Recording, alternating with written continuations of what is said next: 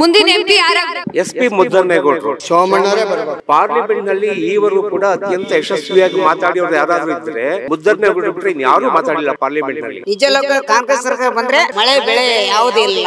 ಇದು ಬಿಜೆಪಿ ಸರ್ಕಾರ ಇದ್ದಾಗ ಮಳೆ ಕೆರೆ ಕಟ್ಟೆ ಎಲ್ಲ ತುಂಬೋದು. ಸರ್ ಈಗ ಎಂಪಿ ಹಾಗೂ ಎಂಎಲ್ಎ ಎ ಅವರು ಅಭಿವೃದ್ಧಿ ಕೆಲಸವನ್ನ ಮಾಡ್ತಾ ಇಲ್ವಾ? ಹೇಗೆ? ನಿರೀಕ್ಷೆಯಷ್ಟು ಅಭಿವೃದ್ಧಿ ಕೆಲಸಗಳಾಗಲಿಲ್ಲ ಮನಮೋಹನ್ ಸಿಂಗ್ ಬಗ್ಗೆ ಯಾರಿಗೆ ಗೊತ್ತಿಲ್ವೋ ಅವರು ಮಾತಾಡ್ತಾರೆ. ಮನಮೋಹನ್ ಸಿಂಗ್ ಈ ದೇಶ ಕಂಡಂತ ಪ್ರಖ್ಯಾತ ಆರ್ಥಿಕ ತಜ್ಞ. ಅವರ ಕೈಗೊಂಬೆ ಅಂತ ಯಾಕಂತಾರೆ ನನಗೆ ಗೊತ್ತಿಲ್ಲ ನನಗೆ. ಪ್ರಧಾನಿ ಯಾರಾಗ್ಬೇಕು ನಿಮ್ ಪ್ರಕಾರ? ಪ್ರಧಾನಿ ನರೇಂದ್ರ ಮೋದಿನೇ ಆಗ್ಬೇಕು. ಮಲ್ಲಿಕಾರ್ಜುನ್ ಖರ್ಗೆ- ಆಗ್ಲಿ.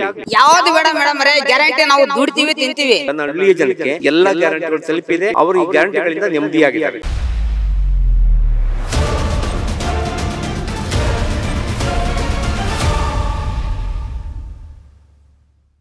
ಮುಂದಿನ ಎಂಪಿ ಯಾರಾಗ್ಬೇಕು ಸರ್ ನರೇಂದ್ರ ಮೋದಿ ಆಗಲೇಬೇಕು.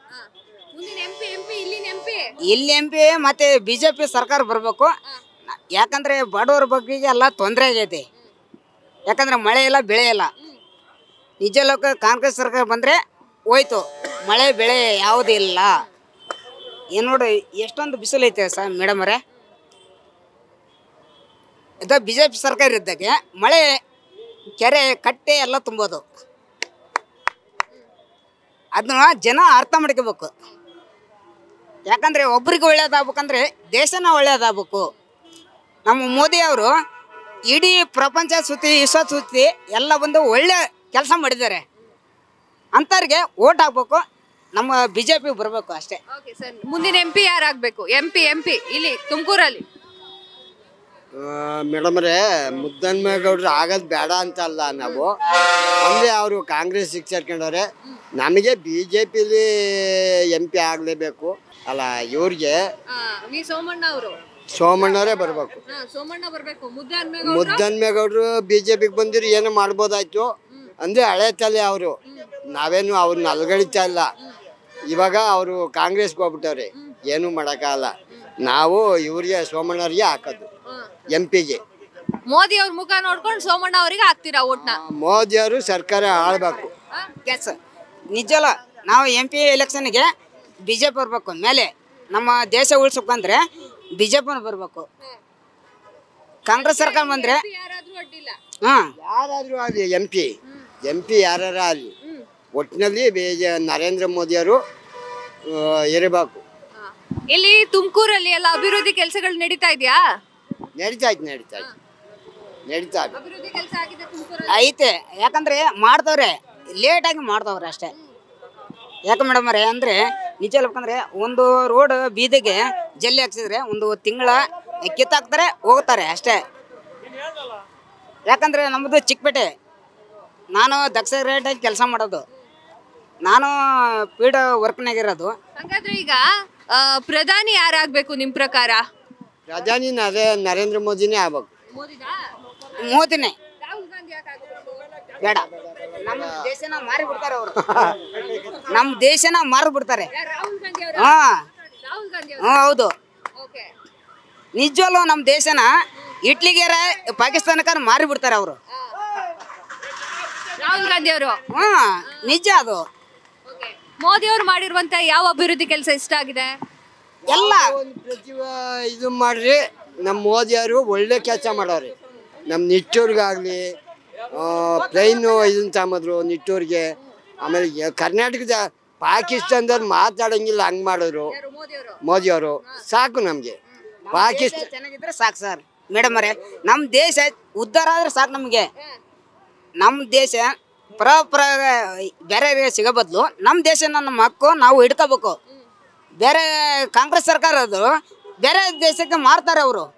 ಬರೇ ನಮ್ಮ ಕರ್ನಾಟಕದನ್ನ ಪಾಕಿಸ್ತಾನದವ್ರು ಹೊಡೆದು ಹೊಡೆದು ಸಾಯ್ಸರು. ಆದರೆ ಇವಾಗ ಹಂಗಿಲ್ಲ. ಪಾಕಿಸ್ತಾನದವ್ರೇ ಎದ್ರಕಂತವ್ರೆ ಕರ್ನಾಟಕದವ್ರು ಹೊಡೆದಾಕ್ತಾರೆ ಅಂತ. ಅಷ್ಟು ಮಾಡಿದ್ರಲ್ಲ ಸಾಕು ನಮಗೆ. ಈಗ ಸಿದ್ದರಾಮಯ್ಯ ಅವ್ರು ಕೊಟ್ಟಿರೋ ಗ್ಯಾರಂಟಿ ಎಲ್ಲ ಇಷ್ಟ ಆಗಿದ್ಯಾ? ಯಾವುದಿಲ್ಲ ಮೇಡಮ್ ಅವರೇ. ಲೇಡೀಸ್ಗೆ ಯೂಸ್ ಆಗೈತೆ ಅಷ್ಟೇ. ಗಂಡಸಿಗೆ ಏನೋ ಸೀಟ್ ಸಿಗುತ್ತಾ? ಅಲ್ಲಿ ಏನೋ ಒಂದು ಬಸ್ಗೆ ಗೌರ್ಮೆಂಟ್ ಬಸ್ಗೆ ಹೋದ್ರೆ ಸೀಟ್ ಸಿಗುತ್ತಾ? ಯಾವ್ದು ಸಿಗಲ್ಲ ನಾವು ನಿಂತ್ಕೊಂಡು ಹೋಗ್ಬೇಕು. ಅವ್ರು ಕೊಟ್ಟಿರ್ಬೋದು. ಗ್ಯಾರಂಟಿ ಯೋಜನೆಗಳ ಎಲ್ಲ ಕೊಟ್ಟಿರ್ಬೋದು. ಯಾಕಂದ್ರೆ ಲೇಡ್ಜಿ ಮಾತ್ರ ಯೂಸು ನಾವು ಲೇಡ್ಜಿ ಅಂದ್ರೆ ನಿಜ ಬೇಕಂದ್ರೆ ಅವಾಗ ಗೌರವದಿಂದ ಕರಿತಿದ್ವಿ. ಮೇಡಮ್ ಅವರೇ ಕುತ್ಕೊಳ್ರಿ ಅಂತಂದು. ಈಗ ನಾವು ಬೆಲೆ ಕೊಡ್ದಾಗ ಆಗ್ಬಿಡುತ್ತೆ ಈಗ. ಯಾಕೇಳಿ ನಮ್ಗೆ ಸೀಟ್ ಸಿಕ್ಕರೆ ಸಾಕೋಪ್ಪ ಆ ಥರ ಆ ಥರ ಮೇಡಮ್ ಬೇಕಾಗಿರ್ಲಿಲ್ಲ ಹಾಗಾದ್ರೆ. ಯಾವುದು ಬೇಡ ಮೇಡಮ್ ಅವರೇ ಗ್ಯಾರಂಟಿ ನಾವು ದುಡ್ತೀವಿ ತಿಂತೀವಿ. ಯಾಕಂದ್ರೆ ನಮ್ಮ ನಮ್ಮ ತೆರಿಗೆ ಮೇಲೆ ಎಲ್ಲ ಅದು ನಮ್ಮ ತಲೆ ಮೇಲೆ ಹಾಕಿ ಅವರು ಇದನ್ನ ಮಾಡ್ತಾರೆ ಸರ್ಕಾರ ಯಾಕೆ ಹೇಳಿ? ಒಳ್ಳೆ ರೀತಿಯಿಂದ ಮಾಡಿದರೆ ಸರ್ಕಾರ ಒಳ್ಳೆ ರೀತಿಯಿಂದ ಆಗತ್ತೆ. ಹೌದಾ? ಕೆಟ್ಟ ರೀತಿಯಿಂದ ಮಾಡಿದರೆ ಗ್ಯಾರಂಟಿಗೆ ಯೋಜನೆ ಅವು ಇವು ಅಂತ ತೆಗೆದ್ರೆ ಅವ್ರಿಗೆ ಇವ್ರಿಗೆ ದಾನ ಮಾಡಿ ಅದು ಕಳ್ಳ ಓಟ ಹಾಕ್ಸೋದು ತಪ್ಪದು. ಸ್ವತಃ ಬುದ್ಧಿಯಿಂದ ಮಾಡಬೇಕು. ಬಿಜೆಪಿ ಎಸ್ ಮೈತ್ರಿ ಬಗ್ಗೆ ಏನು ಹೇಳ್ತೀರಾ? ಮೇಡಮ್ ಅದ್ರ ಬಗ್ಗೆ ನೀವು ಕೇಳಲೇಬೇಡಿ ಅದು. J D L S J D S ಒಳ್ಳೆ ಕೆಲಸನ ಮಾಡಿತ್ತು ನಿಜ ಹೇಳ್ಬೇಕಂದ್ರೆ ಕಾಂಗ್ರೆಸ್ ಸರ್ಕಾರ ಕೆಲಸ ಕಮ್ಮಿ ಮಾಡಿದೆ. ಯಾಕಂದ್ರೆ ಏನು ಬಿ ಜೆ ಪಿ ಬಂದಿದ ಮೇಲೆ ಒಳ್ಳೇದಾಯಿತು. ನಮ್ಮ ತುಮಕೂರು ಸಿಟಿನೇ ನಿಜ ಹೇಳ್ಬೇಕಂದ್ರೆ ಬಿ ಜೆ ಪಿದಾಗೆ ಒಳ್ಳೆ ಕೆಲಸ ಮಾಡಿದ್ರು ಎಲ್ಲ ಮಾಡ್ತಾರೆ. ಈಗಾದರೂ ಬಿ ಜೆ ಪಿನೇ ಐತೆ. ಯಾಕಂದರೆ ಇಲ್ಲಿ ನಿಜ ಹೇಳ್ಬೇಕಂದ್ರೆ ಅದನ್ನ ಮಾತಾಡಬಾರ್ದು. ನಾವು ಮಾತಾಡಲೇಬಾರ್ದು ಈಗ. ಇಲ್ಲ ಇಲ್ಲ. ಸರಿ ಆಯ್ತು ಹಂಗಾದ್ರೆ. ಇವಾಗ ತುಮಕೂರಲ್ಲಿ ಈ ಒಂದು ಲೋಕಸಭಾ ಕ್ಷೇತ್ರದಲ್ಲಿ ಬಿಜೆಪಿ ಹವಾ ಜಾಸ್ತಿ ಇದೆಯಾ ಕಾಂಗ್ರೆಸ್ ಹವಾ ಜಾಸ್ತಿ ಇದೆಯಾ? ಮೇಡಮ್ ಅವರೇ ಬಿಜೆಪಿ ಬಿಜೆಪಿನೇ. ನಿಜವಾಗ್ಲೂ ಬಿ ಜೆ ಪಿನೇ ನಿಜವಲ್ಲೂ ಬಿ ಜೆ ಪಿನೇ ಈಗ ಇಪ್ಪತ್ತೆಂಟು ಕ್ಷೇತ್ರಗಳಲ್ಲಿ ಬಿಜೆಪಿ ಎಷ್ಟು ಕ್ಷೇತ್ರ ಗೆಲ್ಬಹುದು ಅಥವಾ ಕಾಂಗ್ರೆಸ್ ಎಷ್ಟು ಕ್ಷೇ- ಕ್ಷೇತ್ರ ಗೆಲ್ಬಹುದು ಬರ್ತೆ ಬರುತ್ತೆ. ಇಪ್ಪತ್ತೆಂಟರಾಗೆ ಇಪ್ಪತ್ನಾಲ್ಕು ಬರುತ್ತೆ. ನಿಜ ಹೇಳ್ಬೇಕಂದ್ರೆ ಬಿ ಜೆ ಪಿ ಬಳ್ಳಾರಿ ಆಯಿತು ರಾವ್ ಇದು ರಾಮುಲು ಮತ್ತು ಹಾವೇರಿಯಲ್ಲಿ ಎಲ್ಲ ನೋಡಿದ್ದೀನಿ. ನಿಜ ಹೇಳ್ಬೇಕಂದ್ರೆ ಬಿ ಜೆ ಪಿನೇ ಬರೋದು. ಸರ್ ನಮಸ್ತೆ ಸರ್. ನಮಸ್ಕಾರ. ಆ, ನಿಮ್ಮ ಎಂ ಪಿ ಯಾರಾಗಬೇಕು? ಎಸ್ ಪಿ ಮುದ್ದನ್ಮೇಗೌಡರು ಓಕೆ. ವಿ ಸೋಮಣ್ಣ ಅವರು ನಿಂತ್ಕೊಂಡಿದ್ದಾರೆ ಬಿಜೆಪಿಯಿಂದ? ಇದು ಸ್ಪರ್ಧೆ ಇರಲೇಬೇಕಲ್ವಾ? ಸ್ಪರ್ಧೆ ಇರಲೇಬೇಕು. ಈ ಸ್ಪರ್ಧೆ ನಡುವೆ ಮುದ್ದನ್ಮೇಗೌಡರು ಗೆದ್ದು ಬರ್ತಾರೆ. ಸೊ ಮುದ್ದಹನ್ಮೇಗೌಡರ ಮೇಲೆ ನಿಮ್ಮ ಒಲು ಜಾಸ್ತಿ ಇದೆ ಅಂತ ಆಯ್ತು. ತುಂಬಾ ವಿಶ್ವಾಸ ಇದೆ ಗೆಲ್ದೇ ಗೆಲ್ತಾರೆ. ಎರಡ್ ಸಾವಿರದ ಹದಿನಾಲ್ಕರಲ್ಲಿ ಅವರು ಒಂದ್ಸಲ ಎಂ ಪಿ ಆಗಿದ್ರು. ಎಂ ಪಿ ಆದಾಗ ಎಂ ಪಿ ಆದಾಗ ಒಂದು ತುಮಕೂರಿಗೆ ಸಂಬಂಧಪಟ್ಟಂತೆ ತುಮಕೂರು ಸ್ಮಾರ್ಟ್ ಸಿಟಿ ಆಗಲಿಕ್ಕೆ ಅವ್ರ ಪ್ರಯತ್ನ ತುಂಬ ಇದೆ ತುಂಬ ಇದೆ. ಗುಬ್ಬಿ ಎಚ್ ಎಲ್ ಘಟಕ ಆಗಲಿಕ್ಕೆ ಅವ್ರ ಪ್ರಯತ್ನ ತುಂಬ ಇದೆ. ಆಮೇಲೆ ಇಲ್ಲಿ ಫುಡ್ ಪಾರ್ಕ್ ಆಗಬೇಕಾದ್ರೂ ಕೂಡ ಅವ್ರ ಪ್ರಯತ್ನ ತುಂಬ ಇದೆ. ಎಚ್ ಎಂ ಟಿ ಎ ಜಾಗವನ್ನು ಇಸ್ರೋಗೆ ಬಿಡ್ ಬಿಡಿಸ್ಕೊಡ್ಲಿಕ್ಕೆ ಅವರ ಹೋರಾಟ ಇದೆ. ಅದ್ರ ನಡುವೆ ಕೂಡ ಪಾರ್ಲಿಮೆಂಟ್ನಲ್ಲಿ ಈವರೆಗೂ ಕೂಡ ಅತ್ಯಂತ ಯಶಸ್ವಿಯಾಗಿ ಮಾತಾಡಿಯವ್ರು ಯಾರಾದರೂ ಇದ್ದರೆ ನನಗೆ ತಿಳಿದಂತೆ ಮುದ್ದರ್ಮೇಗೌಡರು ಬಿಟ್ಟರೆ ಇನ್ಯಾರೂ ಮಾತಾಡಿಲ್ಲ ಪಾರ್ಲಿಮೆಂಟ್ನಲ್ಲಿ.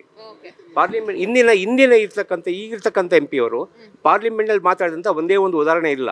ಮುದ್ದನ್ಮೇಗೌಡರು ಅತ್ಯಂತ ಪರಿಣಾಮಕಾರಿಯಾಗಿ ಮಾಹಿತಿ ಸಮೇತ ಪಾರ್ಲಿಮೆಂಟಲ್ಲಿ ಪಾರ್ಲಿಮೆಂಟ್ನಲ್ಲಿ ಮಾತಾಡಿದ್ದಾರೆ.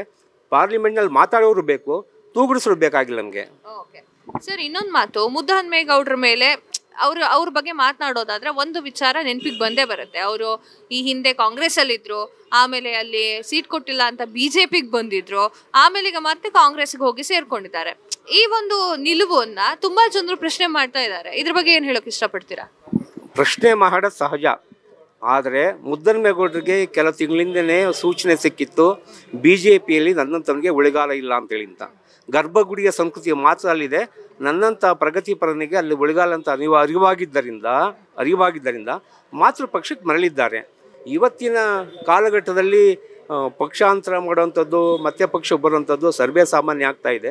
ಹಾಗಾಗಿ ಅದೇನು ನಕಾರಾತ್ಮಕ ಪರಿಣಾಮ ಬೀರಲ್ಲ ಮುದ್ದನ್ಮೇಗೌಡರ ಗೆಲುವಿಗೆ ಸಕಾರಾತ್ಮಕ ಪರಿಣಾಮ ಬೀರ್ತೈತೆ ಅಂದ್ಕೊಂಡಿದ್ದೀನಿ ನಾನು. ವಿ ಸೋಮಣ್ಣ ಅವರು ಈ ಒಂದು ಕ್ಷೇತ್ರದವ್ರು ಅಲ್ಲ. ಓಕೆನಾ? ಸೊ ಅವರ ಕ್ಷೇತ್ರ ಬೇರೆ ಇತ್ತು ಅವರ ಊರು ಬೇರೆ. ಸೊ ಈ ಒಂದು ಕ್ಷೇತ್ರಕ್ಕೆ ಅವರು ನಿಂತ್ಕೊಳ್ತಾ ಇದ್ದಾರೆ ಎಂ ಪಿ ಸೀಟ್ಗೆ. ಇದ್ರ ಬಗ್ಗೆ ಏನು ಹೇಳೋಕೆ ಇಷ್ಟಪಡ್ತೀರಾ? ನೋಡಿ ಯಾರು ಎಲ್ಲಿ ಬೇಕಾದ್ರೂ ನಿಲ್ಲಕ್ಕೆ ಅವಕಾಶ ಇದೆ. ಸೋಮಣ್ಣವರು ಈ ಕ್ಷೇತ್ರದಲ್ಲಿ ನಾನು ಸತ್ಯ ಆದರೂ ಕೂಡ ಅವ್ರ ಪಕ್ಷ ನಿರ್ಧಾರ ಮಾಡಿದೆ ಬಂದು ನಿಂತ್ಕೊಂಡಿದ್ದಾರೆ. ಅದ್ರ ಬಗ್ಗೆ ನನ್ನ ತಕರಾರಿಲ್ಲ. ನನ್ನ ತಕರಾರಿಲ್ಲ. ಆದರೆ ಮುದ್ದನಗೌಡರ ಗೆಲುವು ಮಾತ್ರ ನಿಶ್ಚಿತ. ಓಕೆ. ಸರ್ ಇನ್ನೊಂದು ವಿಚಾರ ಹೇಳಬೇಕು ಅಂದ್ರೆ ಈಗ ಎಟ್ ಪ್ರೆಸೆಂಟ್ ಎಂ ಪಿ ಆದವರು ಬಸವರಾಜ್ ಅವರು ಅವರು ಅವರ ಕಾರ್ಯಗಳು ಅಥವಾ ಅವರ ಅಭಿವೃದ್ಧಿ ಕೆಲಸಗಳು ನಡೀತಾ ಇದೆಯಾ? ನನಗೆ ತೃಪ್ತಿ ಕೊಟ್ಟಿಲ್ಲ. ಅಷ್ಟೇ ತೃಪ್ತಿ ಕೊಟ್ಟಿಲ್ಲ. ಅಭಿವೃದ್ಧಿ ಕೆಲಸ ಆಗಿಲ್ಲ ನನ್ನ ಕಣ್ಣೋಟಕ್ಕೆ ಯಾವುದೂ ಕಾಣ್ತಾ ಇಲ್ಲ. ಶಾ ಸಂಸದರು ಯಾವುದಾದ್ರು ಯಾವ ಸಂದರ್ಭ ಬಂದಾಗ ಪತ್ರಿಕಾಗೋಷ್ಠಿ ಮಾಡಿ ಅವರ ಐದು ವರ್ಷದ ಅವಧಿಯಲ್ಲಿ ಏನೇನು ಕೆಲಸ ಮಾಡಿದರೆ ಅಂತ ಹೇಳಿದರೆ ಗೊತ್ತಾಗ್ಬೋದು ನನ್ನ ಕಣ್ಣೋಟಕ್ಕಂತೂ ಸಿಗ್ತಾ ಇಲ್ಲ. ಸರ್ ಈಗ ಎಂ ಪಿ ಹಾಗೂ ಎಂ ಎಲ್ ಎ ಅವರು ಅಭಿವೃದ್ಧಿ ಕೆಲಸವನ್ನ ಮಾಡ್ತಾ ಇಲ್ವಾ? ಹೇಗೆ? ಕಾಂಬಿನೇಷನ್ ಹೇಗಿದೆ ಅವ್ರದ್ದು M P M L A ಅವ್ರದ್ದು? ಒಂದೇ ಕುಟುಂಬ ತಾನೇ? ಕುಟುಂಬದವರು. ಅವರ ಕುಟುಂಬದ ನಡುವೆ ಎಂ ಪಿ ಮತ್ತು ಎಂ ಎಲ್ ನಡುವೆ ಹೊಂದಾಣಿಕೆ ಇದೆ ಮಾಡ್ಕೊಂತ ಇದ್ದಾರೆ. ಕುಟುಂಬ ಕುಟುಂಬಕ್ಕೆ ಮಾಡ್ಕೊಂತಿದ್ದಾರೆ ಹೊರತು ಜನರಿಗೆ ಮಾಡಿಲ್ಲ ಅಂತ ನಿಮ್ಮ ಅರ್ಥ? ಅಂತ ನಿರೀಕ್ಷೆಯಷ್ಟು ಅಭಿವೃದ್ಧಿ ಕೆಲಸಗಳಾಗಲಿಲ್ಲ. ಈಗ ಹಂಡ್ರೆಡ್ ಮಾರ್ಕ್ಸ್ ಅಲ್ಲಿ ಆ, ಈಗ ಬಸವರಾಜ್ ಅವರಿಗೆ ಎಟ್ ಪ್ರೆಸೆಂಟ್ ನಾಲ್ಕು ವರ್ಷ ನೋಡಿದ್ದೀರಾ ಅವ್ರನ್ನ ಹಂಡ್ರೆಡ್ ಮಾರ್ಕ್ಸ್ ಅಲ್ಲಿ ಎಷ್ಟು ಮಾರ್ಕ್ಸ್ ಕೊಡಕ್ಕೆ ಇಷ್ಟಪಡ್ತೀರಾ ನೀವು? ಮೂವತ್ತೈದು. ಜಸ್ಟ್ ಪಾಸ್ ಓಕೆ ಇನ್ನೊಂದು ವಿಚಾರ ಪ್ರಧಾನಿ ಯಾರಾದರೆ ಉತ್ತಮ ಅಂತ ಅನ್ಸುತ್ತೆ ನಿಮಗೆ? ಪ್ರಧಾನಿ ಯಾವ ಪಕ್ಷ ಅಧಿಕಾರಕ್ಕೆ ಬರುತ್ತೋ ಆ ಪಕ್ಷದ ನಾಯಕರನ್ನ ಯಾರು ಆಯ್ಕೆ ಮಾಡ್ತಾರೋ ಅವ್ರು ಪ್ರಧಾನಿ ಆಗಲಿ. ಯಾವ ಪಕ್ಷ ಬರಬೇಕು ಅಂತಿದೆ ನಿಮಗೆ? ನಾನು ಕಾಂಗ್ರೆಸ್ ಪಕ್ಷ ಬರಬೇಕು ಅಂದ್ಕೊಂಡಿದ್ದೀನಿ ಮೋದಿ ಅವ್ರು ಯಾಕೆ ಆಗ್ಬಾರ್ದು? ಅದು- ಅದು ನನ್ನ ವೈಯಕ್ತಿಕ ಅಭಿಪ್ರಾಯ. ಕಾಂಗ್ರೆಸ್ ಪಕ್ಷ ಅಧಿಕಾರಕ್ಕೆ ಬರಬೇಕು ಅಂತ ಯಾರ ಬಗ್ಗೆ? ಯಾರ ಬಗ್ಗೆ? ಮೋದಿ ಅವರು ಯಾಕೆ ಆಗ್ಬಾರ್ದು ಅಂತ? ಅಲ್ಲ ಮೋದಿ ಅವರು ಯಾಕೆ ಆಗ್ಬಾರ್ದು ಅಂತ ಮುಖ್ಯವಾಗಿ ನನಗೆ ಕಾಂಗ್ರೆಸ್ ಪಕ್ಷ ಅಧಿಕಾರಕ್ಕೆ ಬರಬೇಕು ಕಾಂಗ್ರೆಸ್ ಪಕ್ಷದ ಪ್ರಧಾನಮಂತ್ರಿ ಆಗಬೇಕು ಅನ್ನೋದು ನನ್ನ ಮುಖ್ಯ. ಮಲ್ಲಿಕಾರ್ಜುನ್ ಖರ್ಗೆ ಅವರಿದ್ದಾರೆ ರಾಹುಲ್ ಗಾಂಧಿ ಅವರಿದ್ದಾರೆ ಇಬ್ಬರಲ್ಲಿ ಯಾರು ಪ್ರಧಾನಿ ಆದರೆ ಉತ್ತಮ ಅನಿಸುತ್ತೆ? ಮಲ್ಲಿಕಾರ್ಜುನ್ ಖರ್ಗೆ ಆಗಲಿ. ಹಿರಿಯರಿದ್ದಾರೆ ಅನುಭವ ಇದೆ ಅಪಾರವಾದ ಅನುಭವ ಇದೆ ಮಲ್ಲಿಕಾರ್ಜುನ್ ಮಲ್ಲಿಕಾರ್ಜುನ್ ಖರ್ಗೆ ಆಗಲಿ. ಮಲ್ಲಿಕಾರ್ಜುನ್ ಖರ್ಗೆ ಅವರ ಬಗ್ಗೆ ಹಲವಾರು ಜನ ಮಾತನಾಡ್ಕೊಳ್ತಾ ಇದ್ದಾರೆ. ಹಾಗೆ ವಿರೋಧ ಪಕ್ಷ ಅಂದ್ರೆ ಬಿಜೆಪಿ ಪಕ್ಷದ ಹಲವಾರು ನಾಯಕರು ಮಾತನಾಡ್ಕೊಳ್ತಾ ಇದ್ದಾರೆ. ಏನು ಅಂತಂದ್ರೆ ಮನಮೋಹನ್ ಸಿಂಗ್ ಅವರು ಹೇಗೆ ಕೈಗೊಂಬೆ ಆಗಿದ್ರು ಹಾಗೆ ಈಗ ಮಲ್ಲಿಕಾರ್ಜುನ್ ಖರ್ಗೆ ಅವರು ಏನಾದ್ರು ಗೆದ್ರೆ ಅವರು ಕೂಡ ಕೈಗೊಂಬೆ ಆಗ್ತಾರೆ ಅಂತ ಹೇಳ್ತಿದ್ದಾರೆ. ಹೌದು ಅನ್ಸುತ್ತೆ ಅದು? ಮನಮೋಹನ್ ಸಿಂಗ್ ಬಗ್ಗೆ ಯಾರಿಗೆ ಗೊತ್ತಿಲ್ವೋ ಅವರು ಮಾತಾಡ್ತಾರೆ. ಮನಮೋಹನ್ ಸಿಂಗು ಈ ದೇಶ ಕಂಡಂತ ಪ್ರಖ್ಯಾತ ಆರ್ಥಿಕ ತಜ್ಞ. ಅವರು ಪಿ ವಿ ನರಸಿಂಹರಾವ್ ಕಾಲದಲ್ಲಿ ಆರ್ಥಿಕ ಮಂತ್ರಿ ಆಗಿದ್ದಾಗ ಅವ್ರು ತಂದಂತಹ ಸುಧಾರಣೆಗಳಿದಾವಲ್ಲ, ಆರ್ಥಿಕ ಸುಧಾರಣೆಗಳು. ಆರ್ಥಿಕ ಸುಧಾರಣೆಗಳಿಂದ ಈ ದೇಶ ಇವತ್ತು ಭಾಳಷ್ಟು ಮುಂದಕ್ಕೆ ಹೋಗಿರುವಂಥದ್ದು ಮತ್ತು ನಮಗೆಲ್ಲರಿಗೂ ಬೇಕಾದಂಥ ವಸ್ತುಗಳನ್ನ ಇಟ್ಕೊಂತ ಆಗಿರೋಂಥದ್ದು ಈ ಆರ್ಥಿಕ ಉದಾರೀಕರಣ ಆಗದೆ ಹೋಗಿದರೆ ಇವತ್ತು ನಮ್ಮ ದೇಶದ ಬಡವರ, ದಲಿತರ, ಜನಸಾಮಾನ್ಯ ಸ್ಥಿತಿ ತುಂಬ ಹೀನಾಯವಾಗಿರ್ತಿತ್ತು. ಹಂಗಾಗಿ ಆರ್ಥಿಕ ಉದೇ, ಉದಾರೀಕರಣದ ಬಗ್ಗೆ ಎಲ್ಲರಿಗೂ ಗೊತ್ತಿದೆ. ಎಲ್ಲರೂ ಒಪ್ಕೊಳ್ತಾರೆ. ಅವರ ಕೈಗೊಂಬೆ ಅಂತ ಯಾಕಂತಾರೆ ನನಗೆ ಗೊತ್ತಿಲ್ಲ ನನಗೆ. ಹಾಗಾದರೆ ಇರ್ತಕ್ಕಂಥ ಈ ಭಾಜಪದಲ್ಲಿ ಭಾಜಪದ ಇರ್ತಕ್ಕಂಥ ಎಲ್ಲ ಸಂಸದರು ಕೂಡ ಮೋದಿಯ ಕೈಗೊಂಬೆಗಳಾಗಿದ್ದಾರಲ್ಲ ಇದಕ್ಕೇನಂತೀರಿ ನೀವು? ಮೋದಿಯ ಕೈ ಕೈಗೊಂಬೆಗಳಾಗಿದ್ದಾರೆ. ಯಾರು ಕೂಡ ಇವತ್ತಿನವರೆಗೂ ಎದೆ ಎದೆ ನಿಂತು ನಿಂತು ದಿಟ್ಟಿಸಿ ಮಾತಾಡುವಂಥ ಸಾಮರ್ಥ್ಯ ಯಾರಿಗೂ ಇಲ್ಲವಲ್ಲ? ಇದಕ್ಕೇನು ಹೇಳ್ತೀರಿ ನೀವು? ಈಗ I N D I A ಮೈತ್ರಿಕೂಟದಿಂದ ಹಲವಾರು ಜನರು ಹಲವಾರು ದೊಡ್ಡ ನಾಯಕರು ಬಿಜೆಪಿ ಪಕ್ಷವನ್ನ ಸೇರ್ಕೊಳ್ತಾ ಇದ್ದಾರೆ. ಇದ್ರ ಬಗ್ಗೆ ಏನ್ ಹೇಳೋಕೆ ಇಷ್ಟಪಡ್ತೀರಾ? ನೋಡಿ ದೊಡ್ಡ ಮೀನು ಯಾವತ್ತೂ ಸಣ್ಣ ಮೀನುಗಳನ್ನ ನುಂಗ್ತಾ ಇರ್ತೈತೆ. ದೊಡ್ಡ ಮೀನಿಗೆ ಸಾಮರ್ಥ್ಯ ಇರ್ತೈತೆ ಶಕ್ತಿ ಇರ್ತೈತೆ ಮತ್ತು ಎಲ್ಲ ಸಂಪನ್ಮೂಲಗಳಿರ್ತವೆ. ಹಂಗಾಗಿ ಸಣ್ಣ ಮೀನುಗಳನ್ನ ನುಂಗ್ತಾ ಬರ್ತಿರ್ತವೆ. ಇಲ್ಲಾಗ್ತಾ ಇರೋದು ಅಷ್ಟೇನೆ. ಅಷ್ಟೇನೆ. ದೊಡ್ಡ ಮೀನು ಸಿದ್ದರಾಮಯ್ಯ ಅವ್ರು ಕೊಟ್ಟಿರುವಂತಹ ಅಷ್ಟು ಗ್ಯಾರಂಟಿಗಳು ನಿಮ್ಗೆ ಇಷ್ಟ ಆಗಿದೆಯಾ? ಇಷ್ಟ ಆದರೆ ನಿಮ್ಮ ಮನೆವರೆಗೆ ಬಂದು ತಲುಪ್ತಾ ಇದೆಯಾ? ನಾನು ಯಾವುದೇ ಗ್ಯಾರಂಟಿಯ ಫಲಾನುಭವಿ ಅಲ್ಲ. ಆದರೆ ನನ್ನ ಕೌಟುಂಬಿಕ ಹಿನ್ನೆಲೆಯನ್ನು ಗಮನಿಸ್ಕೊಂಡಾಗ ನಾನು ನಾನು ಆರ್ಥಿಕವಾಗಿ ಸಾಧಾರಣ ಸ್ಥಿತಿಯಲ್ಲಿರ್ಬೋದು. ನನ್ನ ಅಣ್ಣ ತಮ್ಮ ಅತ್ತಿಗೆ ಇನ್ನಾರು ಇದ್ದಾಗ ನನ್ನ ಹಳ್ಳಿಯ ಜನಕ್ಕೆ ಎಲ್ಲ ಗ್ಯಾರಂಟಿಗಳು ತಲುಪಿದೆ. ಅವರು ಈ ಗ್ಯಾರಂಟಿಗಳಿಂದ ನೆಮ್ಮದಿಯಾಗಿದ್ದಾರೆ. ನಿಮ್ಗೆ ಇಷ್ಟ ಆಗಿದೆ ಸಿದ್ದರಾಮಯ್ಯ ಅವರು ಕೊಟ್ಟಿದ್ದ ಗ್ಯಾರಂಟಿಗಳು? ಇಷ್ಟ ಆಗಿದೆ. ಜೆ ಡಿ ಎಸ್ ಹಾಗೆ ಬಿಜೆಪಿ ಮೈತ್ರಿ ಬಗ್ಗೆ ಏನು ಹೇಳೋಕೆ ಇಷ್ಟಪಡ್ತೀರಾ? ನಾವು ಜಾತ್ಯತೀತ ಪಕ್ಷ ಅಂತ ಇಟ್ಕೊಂಡಂಥ ಒಂದು ಪಕ್ಷ ಕೋಮವಾದಿ ಕೋಮುವಾದಿ ಪಕ್ಷ ಜೊತೆ ಸೇರ್ಕೊಂಡಂಥದ್ದು ಅದು ಅಪವಿತ್ರ ಮೈತ್ರಿ ಅದು. ಅಪವಿತ್ರ ಮೈತ್ರಿ. ಅಷ್ಟೇ. ಅಷ್ಟೇ. ಸೊ ಇವಾಗ ಈ ಒಂದು ಕ್ಷೇತ್ರದಲ್ಲಿ ಅಂದ್ರೆ ತುಮಕೂರಿನಲ್ಲಿ ಈ ಒಂದು ಲೋಕಸಭಾ ಕ್ಷೇತ್ರದಲ್ಲಿ ವಿ ಸೋಮಣ್ಣ ಅವ್ರ ಹೆಸರು ಕೇಳಿ ಬರ್ತಾ ಇದೆಯಾ? ಮುದ್ದ ಹನುಮೇಗೌಡರ ಹೆಸರು ಕೇಳಿ ಬರ್ತಾ ಇದೆಯಾ? ಮುದ್ದನಮೇಗೌಡ ಹೆಸರು ಕೇಳಿ ಬರ್ತಾ ಇದೆ. ಎಲ್ಲ ಜನರು ಮುದ್ದ ಅಲ್ಲ ಎಲ್ಲ ಜನರು ಅಂತಲ್ಲ ಮುದ್ದನಮೇಗೌಡರು ಅವರ ಅವರ ಕಾರ್ಯವೈಖರಿಯನ್ನು ಗಮನಿಸಿದ್ದಾರೆ. ಅವರು ನ್ಯಾಯಾಧೀಶರಾಗಿದ್ದಂಥವ್ರು ನ್ಯಾಯವಾದಿಗಳಾಗಿದ್ದಂಥವ್ರು ಅವರ ಕಾರ್ಯ ಕಾರ್ಯವೈಖರಿ ಬಗ್ಗೆ ಗೊತ್ತಿದೆ. ಆ ಜನರೆಲ್ಲರೂ ಕೂಡ ಇವತ್ತು ಮುದ್ದನಮೇಗೌಡರನ್ನು ಇಷ್ಟಪಡ್ತಾರೆ ಮುದ್ದನಮೇಗೌಡರು ಆಯ್ಕೆ ಆಗ್ತಾರೆ. ಆ, ಈಗ ಇನ್ನೊಂದು ವಿಚಾರ ಏನು ಅಂತಂದ್ರೆ ಇಪ್ಪತ್ತೆಂಟು ಕ್ಷೇತ್ರಗಳಿದೆ ಕರ್ನಾಟಕದಲ್ಲಿ. ಈ ಇಪ್ಪತ್ತೆಂಟು ಲೋಕಸಭಾ ಕ್ಷೇತ್ರದಲ್ಲಿ ಬಿಜೆಪಿ ಎಷ್ಟು ಕ್ಷೇತ್ರವನ್ನ ಗೆಲ್ಲಬಹುದು ಹಾಗೆ ಕಾಂಗ್ರೆಸ್ ಎಷ್ಟು ಕ್ಷೇತ್ರವನ್ನ ಗೆಲ್ಲಬಹುದು ಕಾಂಗ್ರೆಸ್ ಹದಿನೆಂಟು ಕ್ಷೇತ್ರ ಗೆಲ್ಬೋದು ಬಿಜೆಪಿ ಜೆ ಪಿ ಹತ್ತು ಕ್ಷೇತ್ರ ಗೆಲ್ಬೋದು ಓಕೆ. ಫೈನಲ್ ಫೈನಲ್ ಹಾಗಾದ್ರೆ ಕಾಂಗ್ರೆಸ್ ನಿಮ್ ಪ್ರಕಾರ ಕಾಂಗ್ರೆಸ್ ಜಯಬೇರಿ ಬಾರಿಸುತ್ತೆ ಈ ಸಲ? ನನ್ನ ವೈಯಕ್ತಿಕ ಅಭಿಪ್ರಾಯ. ಭಾರತ್ ಜೋಡೋ ನ್ಯಾಯ ಯಾತ್ರೆ ಎದುರು ಮೋದಿ ಹವಾ ನಿಲ್ಲಲ್ಲ? ಭಾರತ್ ಜೋಡೋ ಯಾತ್ರೆಯನ್ನ ಅನೇಕ ಜನ ಇವರೆಲ್ಲ ಗೇಲಿ ಮಾಡಿದರು. ಆದರೂ ಕೂಡ ಬಿಹಾರ್ ಅಂತ ರಾಜ್ಯದಲ್ಲಿ ಮಹಾರಾಷ್ಟ್ರದಂಥ ರಾಜ್ಯದಲ್ಲಿ, ಆ ಜನ ಸೇರೋದು ನೋಡಿದರೆ ಭಾರತ್ ಜೋಡೋ ಯಾತ್ರೆ ತುಂಬ ಯಶಸ್ವಿಯಾಗಿದೆ ನಾನು ಭಾವಿಸಿದ್ದೇನೆ. ಒಂದು, ಅನೇಕ ಜನ ಭಾರತ್ ಜೋಡೋ ಯಾತ್ರೆಯ ನಾಯಕನನ್ನು ಕುಚೋದ್ಯವಾಗಿ ಮಾತಾಡುವಂಥದ್ದು ಮತ್ತೊಂದು ಅವ್ನ ನಾಯಕನೇ ಅಲ್ಲ ಪ್ರತಿಬಿಂಬಿಸೋದು ಇದೆಯಲ್ಲ? ಇದು ಇದು ಇದು ಇದು ಇದು ಆಗಬಾರ್ದಾಯ್ತು. ಆ್ಯಕ್ಚುಲಿ ಆ ರಾಹುಲ್ ಗಾಂಧಿ ಅವರನ್ನ ನೋಡುವ ದೃಷ್ಟಿಕೋನನೇ ಬದಲಾಗಬೇಕು.